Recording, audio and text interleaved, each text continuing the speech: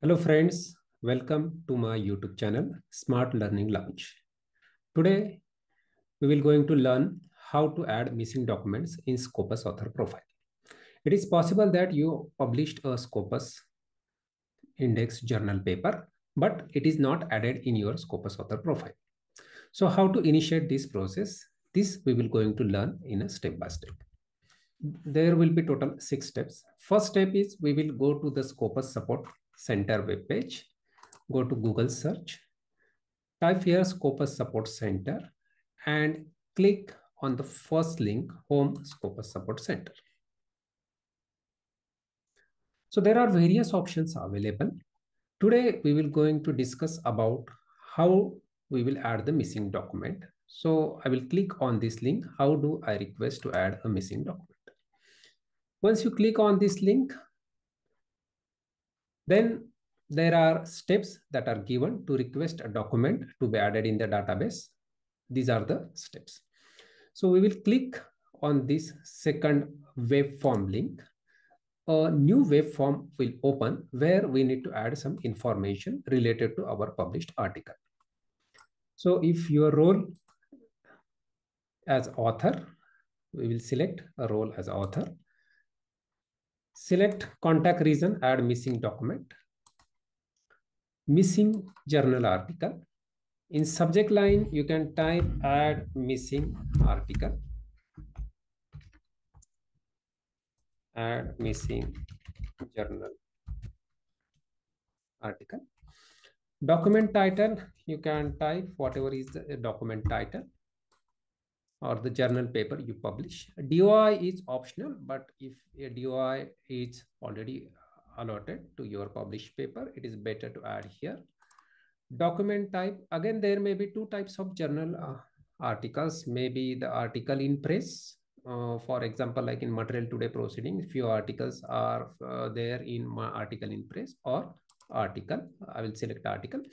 ISSN number of the journal where you publish the paper so if you don't know the ISSN number of the journal, you can go to Google and search that particular journal name plus ISSN and add that ISSN number here.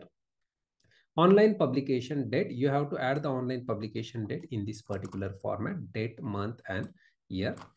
Volume and issue number is available in your journal article. So please add this data here page number it is possible that few papers there is page numbers are not given. So in that case you can start say from page number 1 to 10 in case the journal article have total 10 pages.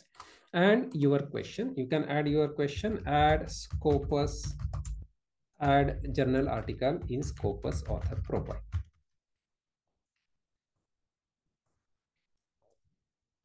Profile.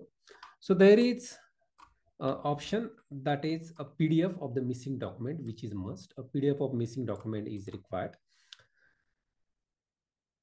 If it is not available because some journals are not uh, providing the full PDF because uh, they are subscription based. So in that case, uh, we cannot upload. But if it is available, then uh, we can attach here as a PDF file. And then uh, we will going to add the contact details, first name, last name, email address, and uh, confirm email address, same email address, and your region.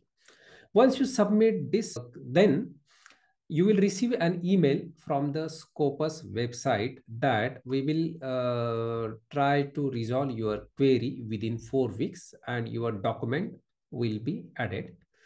So this is the last step. Documents will be added in the Scopus author profile within four weeks. So we discuss about how to add the missing document in different six steps. If you like this video, then please click on the bell icon and subscribe this channel for new videos similar to this topic. If you have any new suggestions or uh, on any new topics, then you please put it in the comment box Thank you for watching this video.